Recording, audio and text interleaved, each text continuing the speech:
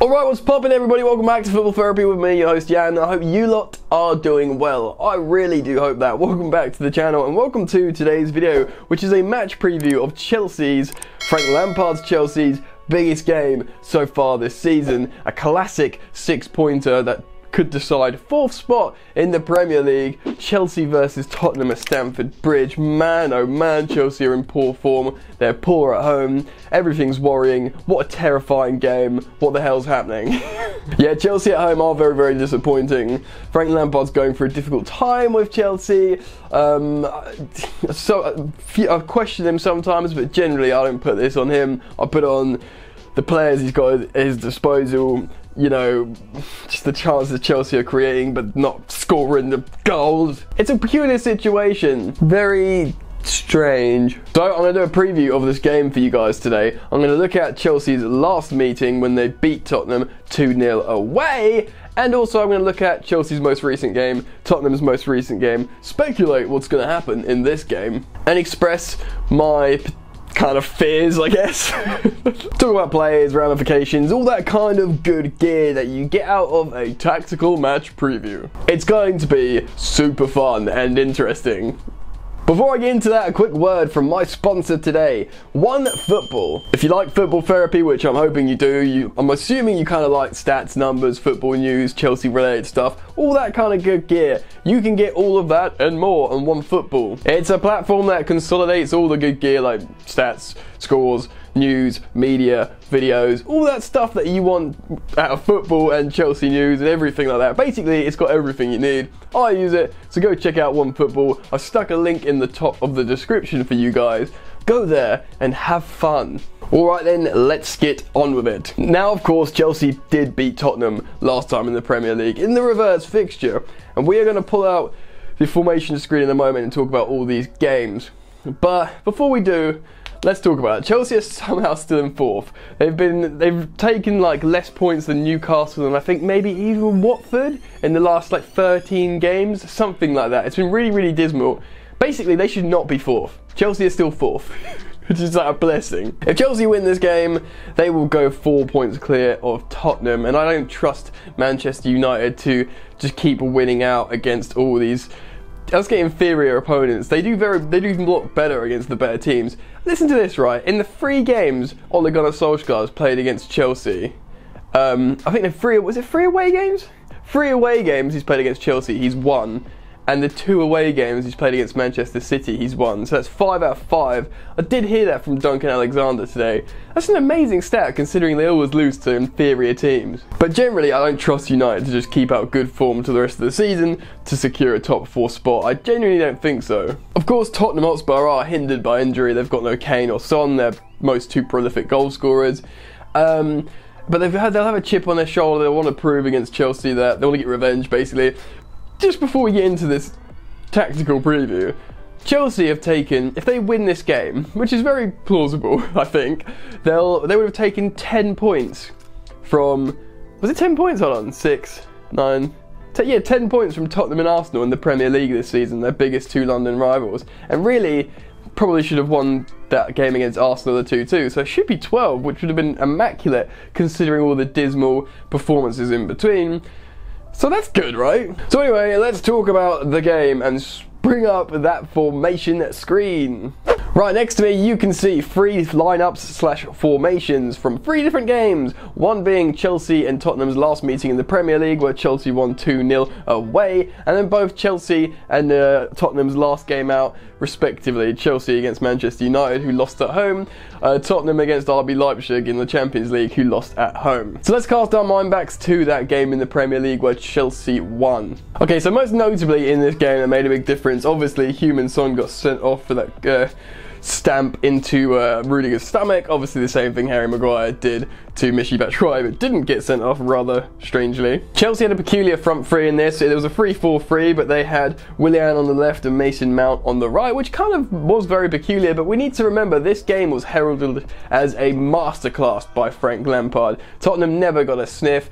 It was really, really comprehensive 2-0 win, even before the dismissal, and they didn't have an answer for it. Willian was, of course, man of the match. He scored the opening goal. He also converted a penalty of Jorginho wasn't on the pitch. There was the two central midfielders of Kovacic and Kante. So it was a comprehensive win and a massive performance from Willian. You cannot trust Willian to always come out with these massive performances though. Obviously Jose Mourinho uh, deployed his 4-3-3 in this game with both Harry Kane and Son who are both out for this game so you think he'd probably play I think he might even drop Dele Alli after his last performance. So I think maybe he'll just have Moura up front and Bergwijn like close to him, sort of floating around. But before we speculate more about how this game's going to go, let's just talk about that this game first. Obviously, Chelsea played the 3-4-3. Marcos Alonso at left wing back, Azpilicueta at right wing back. It sounds quite defensive on the right hand side.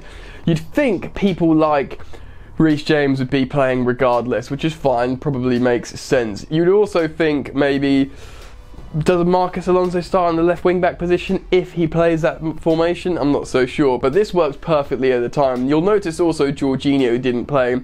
Kante did play. Now Kante is injured at the moment, but Kante's always done his best work in a two-man midfield. People talking about, oh, play Kante in his natural position. Ladies and gentlemen, there it is. Kante's natural position in a two-man midfield. Like I said, it was, like a 4-4-2 at Leicester or a 3-4-3 uh, playing for Chelsea. He's always played in the middle four in a two-man midfield, and there it is. And that's probably why he works so well in that formation. Anyway, Chelsea had a comprehensive tactical uh, display in that game, and obviously saw out two goals, and the red card helped them. Right, next up, Tottenham's 1-0 loss to RB Leipzig. This is one of the most comprehensive 1-0 wins I have ever seen. They also play a 3-4 three. They had three, their first choice, three central defenders out. So Julian Nagelsmann's hand was forced to use two fullbacks in the back three and play Chelsea loanee Ethan Ampadu in the middle pivot, uh, well, the sort of central central defender role. I've also talked about him in my last video. I suggest you go check out. He had an immaculate defensive performance, uh, which was really, really impressive. So, so far we see a correlation here with two 3-4-3s beating Jose Mourinho's Tottenham. To be honest, Tottenham were lucky that they were not 3 3 0 down in the first half, the way RB Leipzig cut them open, tore them apart completely. They didn't look like they could get a sniff, and really, it was really, really impressive from Leipzig.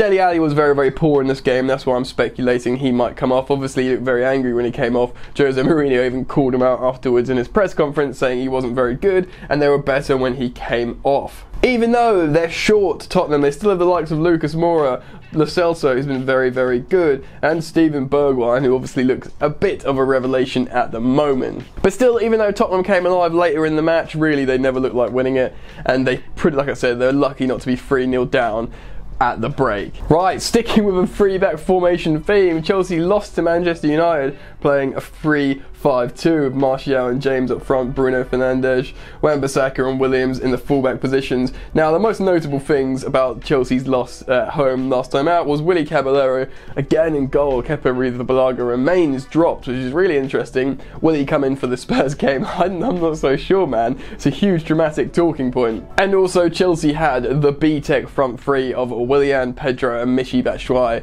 which Michy Batshuayi was very, very disappointing indeed. Chelsea can feel hard done by in that game for a couple of massive VAR decisions that incorrectly went against them, but they should have finished their dinner, Michy Batshuayi was a big reason for that not happening. N'Golo Kante came off injured, and I believe he will still be injured, although we probably should expect Tammy Abraham to return to the starting lineup, even though Giroud came on and looks very, very bright when he scored that offside header, but you'd think if Tammy Abraham probably as the preferred striker would come back for this game. But anyway, I want to talk about how this game could go or how the lineup should be against Tottenham. So I just want to talk to you guys about that. So let's get rid of this formation screen. The big correlation with those two losses when Chelsea beat Tottenham and recently when Leipzig beat Tottenham was it was a 3-4-3 formation that Tottenham could not deal with. Chelsea giving up goals recently does sort of scream Chelsea should deploy a 3 4 3 in this game, right? Chelsea have a lot of good central defenders at the moment. They do. They've got, you know, Christensen's been looking good. He's flown to Milan to get a face mask fitted so he can play in this game. So Christensen's going to start. Rudiger can start. Zouma can start. They all can play. To be honest, Tomori probably deserves a game in terms of his recent performances when he has played. So any three of the four centre backs could start against Tottenham Hotspur. So thinking about that, I think Chelsea probably should play a 3-4-3. I think Reece James should play as the right wing back, a bit more licensed to stay forward more and put in good crosses. And then who plays left wing back? Marcos Alonso. I know that's his specialist position, but he's not played for a while. Um, Azpilicueta playing on the left would probably offer a little bit more defensive solidity. Um, obviously, he has played a lot of left back. He'd be allowed to stay forward a bit more, doesn't have to run up and down as much. So maybe, so three centre backs, Reece James on the right wing back, Asp left wing back, or maybe Alonso if he's gonna actually be good. And then obviously the two central midfielders has to be Jorginho and Kovacic. Kante is out, even though Kante would be first choice in this formation, like I said previously in the video, it would have to be Jorginho and Kovacic. Oh yeah, I guess Caballero and goal. God. So who's going to be the front three? Well, to be honest, the 3-4-3 might afford a really good opportunity for Olivier Giroud to play as the striker, especially if we've got super, super wide men putting in crosses. Reece James allowed to stay forward more and just put crosses in. Maybe starting Giroud in this type of formation and this type of game would be the perfect opportunity. But it could be Tammy Abraham gagging to get back on the score sheet, so I'd understand if he starts. So who starts on the flanks? If Pulisic's fit, which I don't think he is, he probably starts. Willian needs to drop another Tottenham masterclass. I'm pretty sure it'll be Willian. But would it be Pedro again? Arguably, Pedro was the best out of the front three against Manchester United. But really, if Hudson Odoi's fit, he needs to play on the right. Willian needs to play on the left. Hudson Odoi com combines incredibly well with Reece James to be honest, for me, that's my starting lineup at home against Tottenham Hotspur in the Premier League. But anyway, what do you guys think? I'm really keen to hear your thoughts and opinions on the game. Do you agree with me? 3-4-3 formation. Give me your score predictions down in the comment section below. I want to see how confident people are. If you have enjoyed the content today, guys, please do like the video. That means a lot. Why not subscribe to the channel if you are indeed new? Remember to follow me on social media, especially Instagram at FootballYannick. That's it from me, ladies and gentlemen. You lot enjoy the football, swing by the channel every day, and I'll see you later. You ain't so tough with that bad boy tuck. I'ma get it how I'm living, I'ma walk the walk. Outline my lines, I rap through thought. Body bag the verse, outlined in chalk. In my life, seen trouble, hustle on the double, silence on the trigger like my pick got a muzzle. Yo, chick like to guzzle, bad boy stay in trouble. I only love this paper, sorry I don't. I love me, baby.